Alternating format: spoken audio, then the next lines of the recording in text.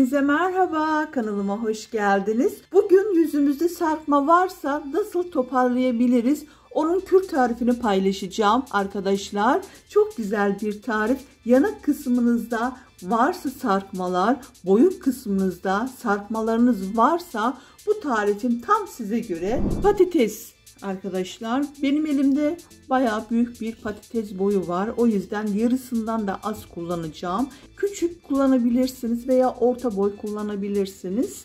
Ben yarısından daha azını alıyorum. Bana bu kadar yeterli olacak. Bu tarifim arkadaşlar tek kullanımlık olacak. Yani her seferinde yeni yapmamız gerekecek.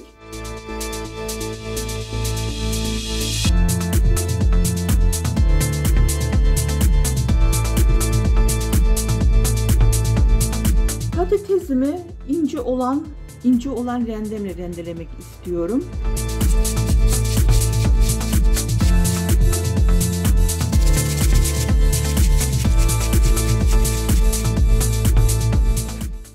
Elimle sıkacağım iki defada. Siz süzgeç kullanabilirsiniz. Ben elimle sıktığım için daha fazla çıktığını düşünüyorum ama siz süzgeç kullanabilirsiniz. Hemen sıkıyorum. Diğer tabağıma alıyorum ve kalanı da alıyorum.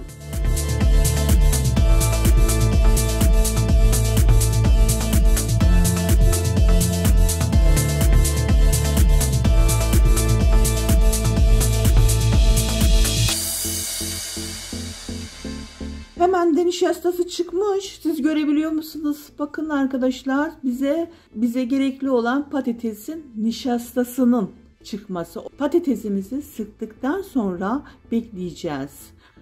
Bir tatlı kaşığı yoğurdumdan ilave ediyorum. Karıştırıyorum.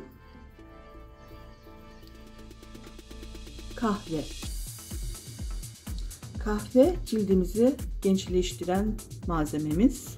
Yarım tatlı kaşığı da kahve koymak istiyorum. Hem cildimizi gençleştiriyor hem de ölü hücreleri arındırmış olacağız.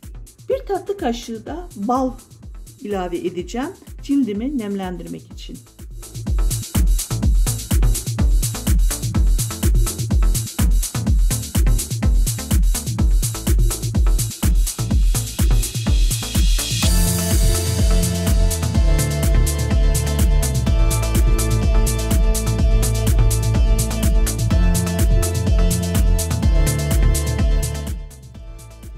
Karıştırıyorum. Homeşen haline gelene kadar.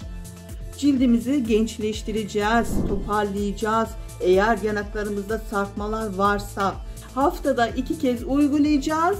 Yüzümüzde 15 dakika eğer cildiniz kaldırıyorsa her maskeyi yarım saate dahi bekleyebilirsiniz. Sonra ılık suyla yüzümüzü yıkayacağız güzelce. Arkasına her zaman ne yapıyorduk? Nemlendiricimizden sürerek aşağıdan yukarıya doğru masaj yapıyorduk. Beni dinlediğiniz için, beni izlediğiniz için hepinize çok teşekkür ediyorum. Tekrardan görüşmek üzere. Hoşçakalın. Kendinize iyi bakın. Bay bay.